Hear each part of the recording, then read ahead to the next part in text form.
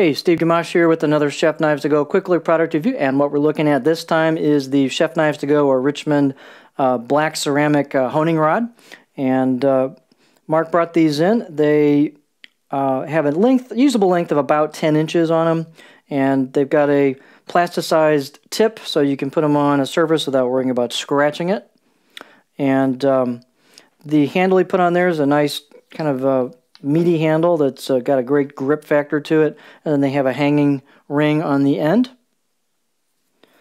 Marks rates this as about 2K, he says Japanese scale. So let's compare this to the Idahone Fine Ceramic. Theirs is rated at 1200, which is an ANSI rating, which equates to around a 3000 grit uh, Japanese or JIS rating. So in practice, I found this to be quite a bit more aggressive than the um, Idahone Fine Ceramic, just for comparison for those of you that are trying to figure out apples and oranges. So it uh, seemed quite a bit more aggressive. It took metal off much more quickly. The polish level was definitely lower and definitely more toothy um, and a less fine or polished, you know, than the Idahone Fine Ceramic. Um, it's really good if you want to take metal off a little more quickly, if you want to have a more aggressive toothy edge on your knife, um, if you're not interested in something as quite as polished as the Idaho and Fine. Um, I even did a little chip repair on a paring knife that had a small, when you held the knife up, you could kind of see a little reflection on the edge towards the tip and I actually worked it a little bit on this and took it right out and put a nice toothy edge on this. So it's definitely pretty aggressive and it really, really works. Some nice features about this. Uh, one is that tip so you don't scratch what you're going to put the um, ceramic rod on if you're going to hold it down on something. The other is the um, they're the way they're manufactured, Mark said they're made very, very straight. And then the other feature is they're a little larger diameter than some like the Idahone. And one nice thing about that larger diameter, it's not a big difference, but it's a kind of a minuscule, um, slightly larger contact patch between the steel and the edge of your blade.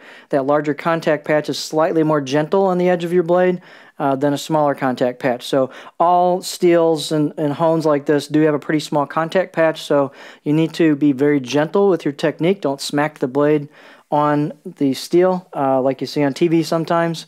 Uh, be gentle on it, try to hold your angle well, and you can get great results out of these things. So that larger diameter is nice. Also, the black color doesn't show the metal uh, streaks like you would see in an Idahone, which is kind of white uh, in comparison. Uh, I did a quick wipe down of this with a wet paper towel, and it seemed to pull some material off there pretty well. The you know the the uh, swarf that built up on it. Um, it's nicely manufactured. I went ahead, as I said, and used it um, on a number of knives, and it, it, put a nice toothy, aggressive edge on it quite quickly.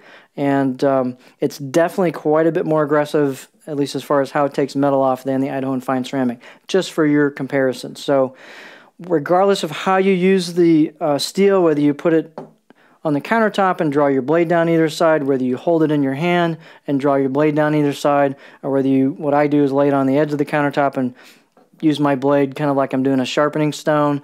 However you do that, just be gentle on your pressure. It does not take a lot of strokes. You might want to use a Sharpie on your edge. And one of the things I like to do is if you paint the edge with Sharpie, try to find where that kind of edge bevel is where you match the angle and then maybe raise it just a little bit so you create kind of a micro bevel on there. You can put an edge on really fast that way and create a small micro bevel on the edge of the edge uh, and get a nice to the edge in no time flat with just a few strokes per side. So there you have a nice product. This is uh, Mark's new offering. This is the Chef Knives to Go Richmond um, ceramic black honing rod.